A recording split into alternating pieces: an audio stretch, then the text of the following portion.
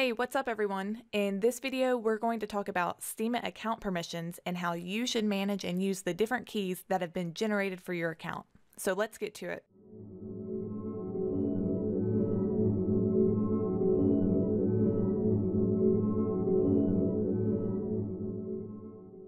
So as we stressed in our previous video on the Steemit account creation process, since your account may accumulate Steem tokens, it has real monetary value associated with it.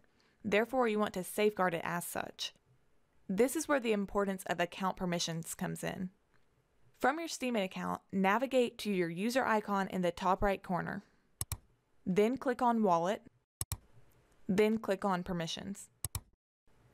Here we see we have four permissions listed. Posting, Active, Owner, and Memo.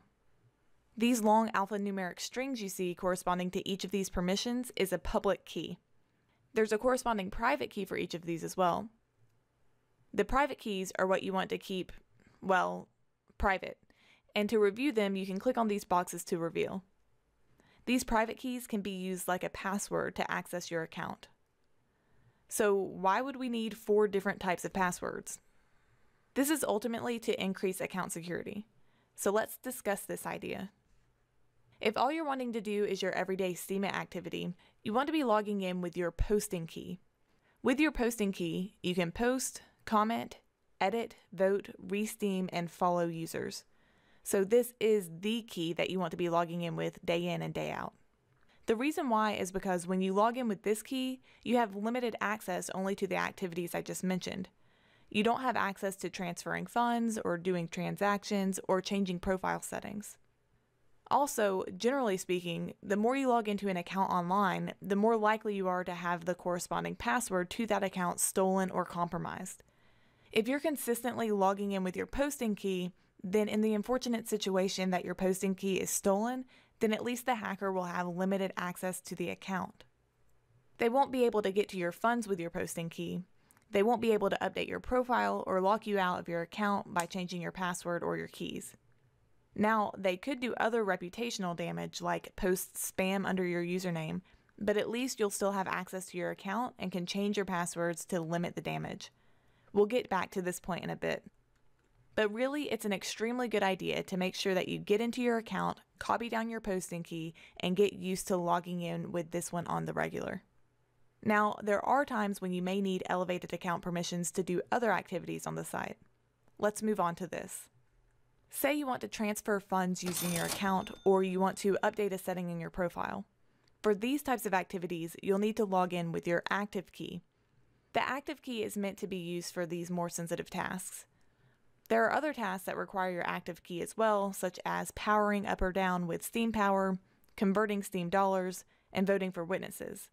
But these are topics we haven't even generally touched on yet in this playlist, so we won't go into these at the moment. Now, the most elevated key of all is the owner key. The owner key is the master key to your account, giving you overarching access to everything.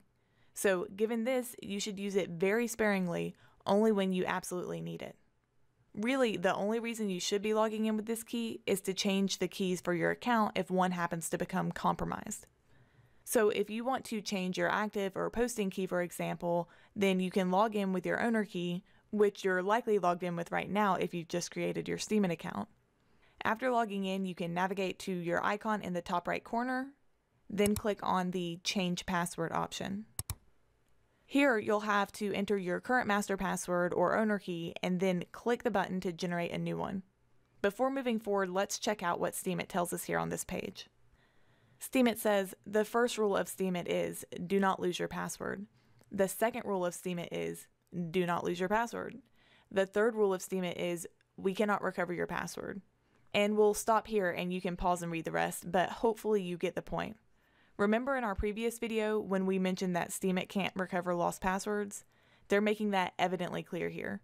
So it's absolutely crucial that you save, back up, and store your keys yourself because if you lose them, Steemit will not be able to help you get them back. So with Steemit, you have an associated cryptocurrency wallet, and just like other wallets, you are the only individual that has access to your private keys. Steemit does not store them on their side, so there's no way to ask, hey, can you send me an email to reset my password, like you could with Facebook, for example. Okay, so back to what we were doing, changing the password. Once you do change the password, all of the existing keys will be changed. You can't change them individually. So you need to take the proper precautions to, again, back up the new password it gives you here with the same importance that we talked about earlier.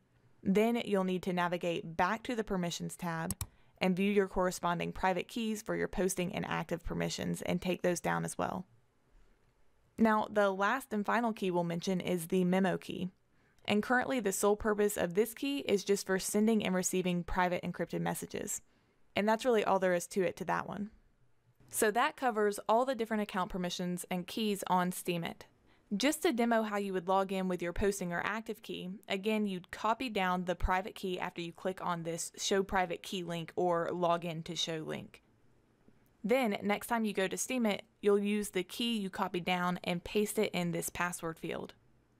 So I hope now you understand all the different keys on Steemit along with their corresponding use cases, and that you'll take the appropriate measures to safely secure these keys and then get used to logging in for regular activities only with your posting key. Thanks for watching and stay tuned for more Steemit goodness.